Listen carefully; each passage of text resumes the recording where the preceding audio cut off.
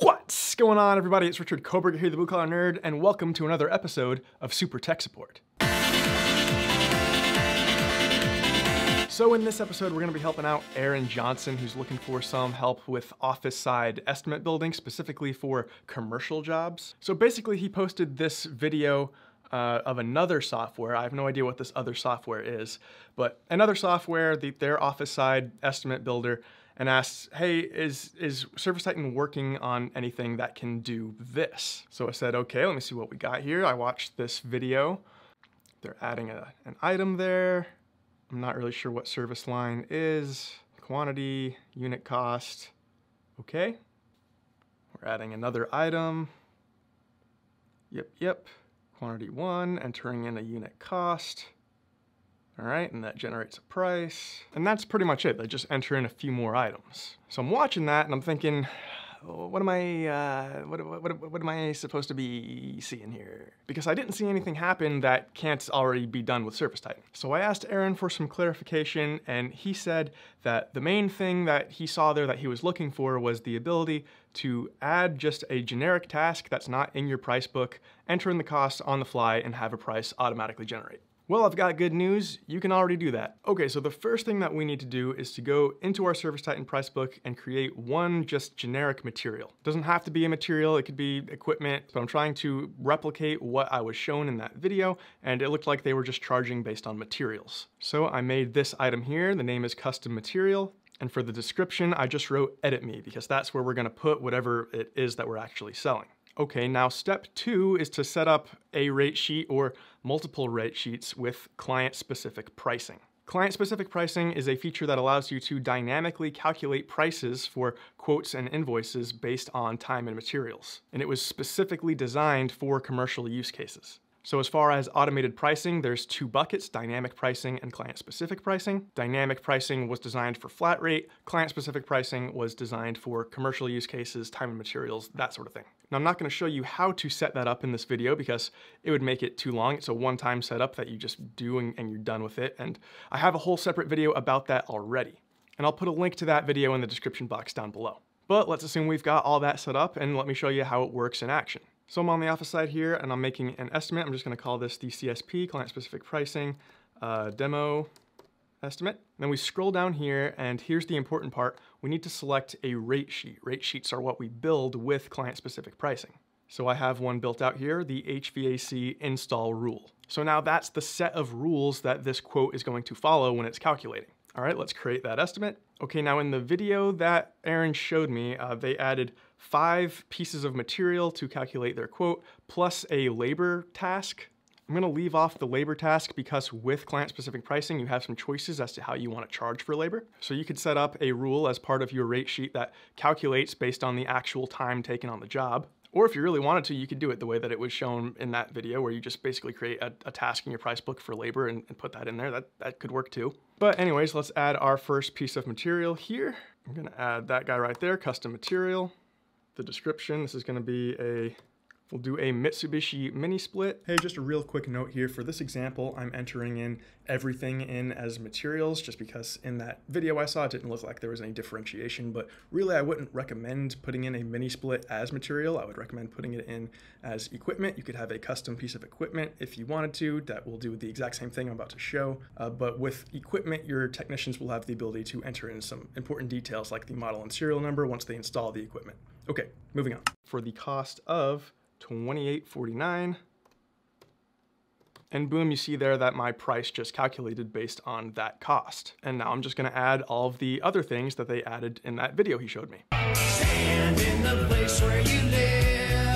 Okay, so there's my quote all built out. I'm gonna speed it up for the sake of making the video not super boring, but it probably took me in real time 45 seconds. My custom material here has a default cost of $0, and then whatever I type in, that's gonna automatically generate the unit price. I've got all my information over here. Here's my gross margin, my total cost for this quote. And then uh, there's a couple of different ways that you can have your quote configured to show like the customer facing version. The way I've got this configured doesn't show the name of the task, equipment, or material. It only shows the description and the code. And if you're gonna be building out a lot of things this way, I would recommend having it set up like that because that way you don't have to have this custom material name over and over. That could be kind of confusing to the customer. So let me show you the print view here.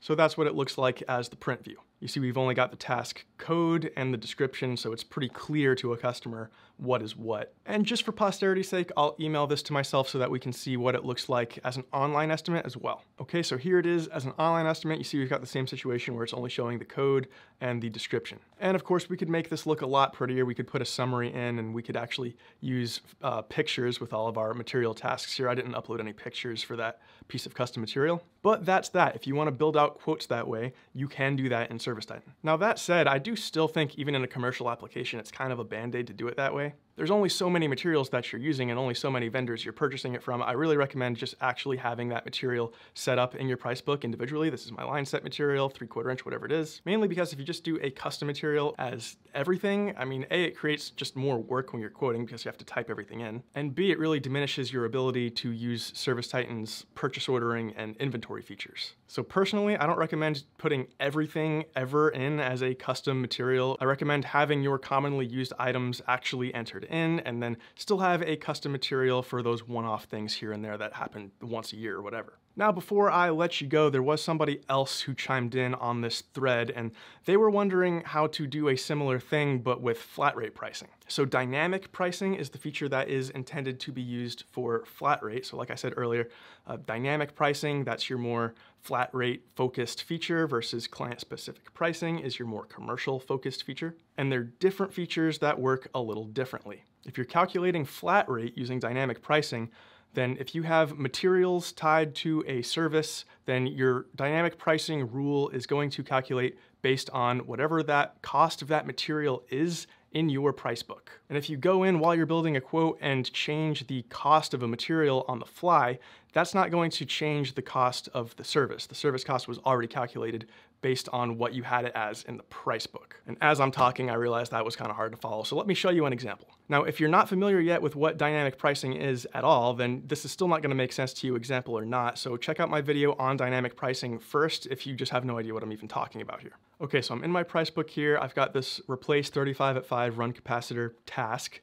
and it has one material tied to it. It's this capacitor here that cost me $200. And right now the price for this task, the dynamic price is calculating at $350. That's based off of the material costs and whatever hours I have assigned to this, which is zero. It really shouldn't be zero. Let's, let's call it 0.5. Boom, and you see the price just updated by itself, magic of dynamic pricing. Okay, so I'm gonna make a new estimate here. I'm not going to select a rate sheet because rate sheets are for client-specific pricing, very important. These are different things. We're not using client-specific pricing, we're using flat rate, we're using dynamic pricing. I'll hit save and then I will add that task that I just showed you. So there it is, I'm gonna select that and it's gonna populate both the task and the material that is tied to that task. So here's that capacitor that costs $200. And there's our dynamic price of $475 that we're charging to the customer. But if I just go in here and say, uh, actually this thing costs $300 now, I'll save that. You'll notice that does not change my price up here. All that did was lower my gross margin. Let's say it costs $400 now. Boom, all that did was lower my gross margin. It does not change my price. If you're using flat rate, if you're using dynamic pricing, then you need to be keeping your material costs up to date. And the way I recommend doing that is twofold. One is to get all of them up to date in the first place. The bulk editing features of the price book are gonna be your friend there. I have a video on that. I'll put a link in the description below. And then once everything is up to date, there's a feature that will let you automatically update material prices based on purchase orders. So as you're buying things, oh, price went up, it automatically just updates the material cost in your price book. And that keeps everything up to date in a very hands-off way. But if you do get pinned in this situation and you're like, okay, well, I, I need to sell this right now, but I know that this thing is going for $300 and not the $200 that it says. So by default, this was at 200, just so we're clear. So you're like, well, it doesn't cost 200, it costs 300 now. Okay, well, that's really no problem. All we've got to do is update the cost in our price book. So in my price book, I'm gonna go to materials and I'm gonna find that piece of material. There it is. The cost is currently set at 200, but I know that now they are going for 300. Click out of that to save it. Okay, now let's go back to that estimate I was building. And I'm just gonna take this task off and put it back on so that it pulls in the new data. Boom, you see now the price is 300 and the dynamic price that it's calculating is $650. Anyways, that's all I got for today. Hey, I hope this was helpful for some of you out there. If it was helpful, please leave me a comment down below. I'd love to hear the feedback. Please hit like if you did like the video and found it valuable, and please subscribe to Service Titan's YouTube channel if you haven't done that already. Appreciate it. Peace.